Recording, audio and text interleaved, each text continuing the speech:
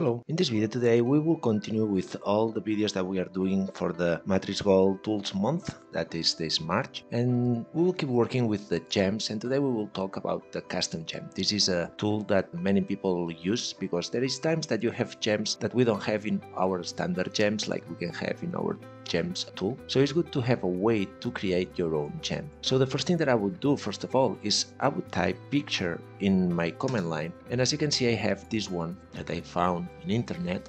I will just add it in my viewport and what I will do is just rotate it a bit so I get something like this. I will add it in another layer and I will block it so I can work with it without having trouble on selecting the picture and then I will use from here the polyline and I will start to work with this.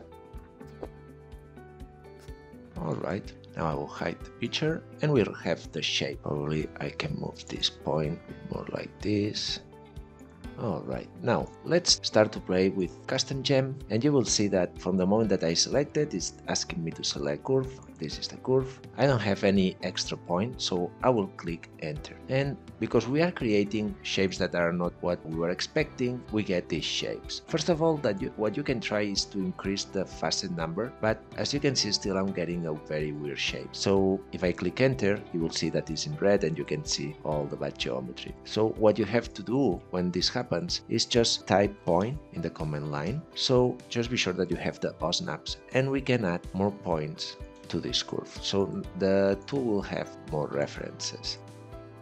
Alright, let's try now. So again, we will go for the custom gem, we will select this curve, and now instead clicking enter as I did before, what I will do is select facet points. So I will do like this, I select all the points that I add, and as you can see now, it looks much much better. So I validate, still get, I'm getting the result, the only thing that I need to do is just increase the facets, probably I have to do it a bit more, and there we go. Now we have the gem all right? So now we have this gem. And with this gem we will be able to add gem offset. I can create girdle space. So now from here i can create just say one offset and from this offset what I can do is just extrude I will cap it.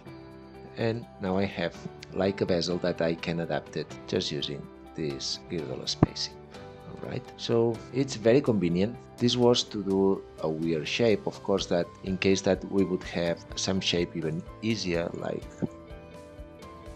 just say that we have a curve like this. Also I can go to gems and do the same thing custom gem I select this one but now because the shape it's more roundish we shouldn't have any problem and get the result at the very first time of course that here you have many different settings you can play with a crown angle just to adapt the shape and look for the shape that you are looking. Keep always in mind that depending on what settings you play, you can get different results and you will need to go back and do it again until you get the right shape.